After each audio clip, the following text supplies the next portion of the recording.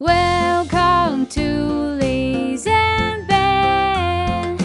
I hope you guys enjoy the video. Please like the video and subscribe to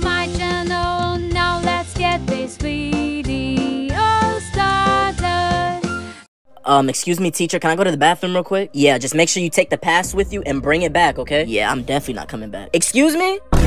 Oh, I said I'm gonna be right back. Nah. Damn, where's the motion at, bruh?